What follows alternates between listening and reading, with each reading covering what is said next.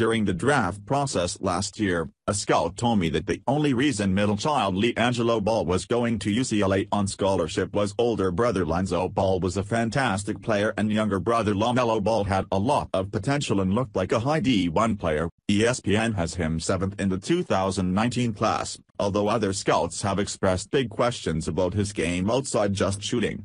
LiAngelo was one of the UCLA players suspended after a shoplifting incident in China. Monday, Father LaVar Ball, he of the Lakers LaVar Ball rule, has pulled LiAngelo out of UCLA. The announced plan was to get him ready for the draft. LaVar Ball, he's not transferring to another school, he told ESPN. The plan is now to get Gelo ready for the NBA draft. The plan was always for LiAngelo to spend one season at UCLA and then leave, regardless of whether he was projected to be drafted. Don't expect to see LiAngelo in the NBA, either. Ex-UCLA freshman LiAngelo Ball has no chance that he'll be drafted in June, and that was true before his shoplifting incident in China. He's not on any of our scouting lists, even the extended lists, one GM told ESPN.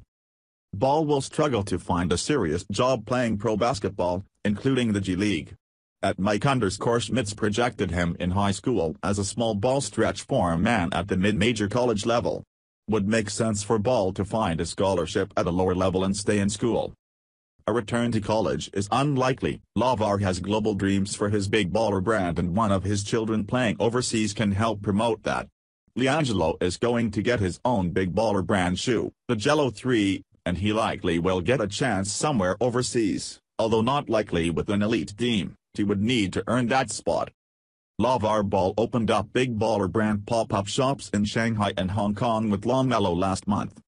He has plans to do the same in London, Paris and Dubai in 2018. LiAngelo will likely now join them on these promotional tours and get his own signature shoe. LaVar wants to take Big Baller brand global.